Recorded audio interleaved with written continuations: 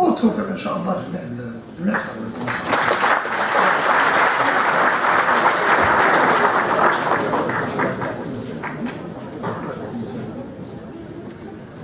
pour concrétiser, tout cela, on va signer des euh, conventions de partenariat entre les différents partenaires. Je demande à l'ANAPEC et M. le doyen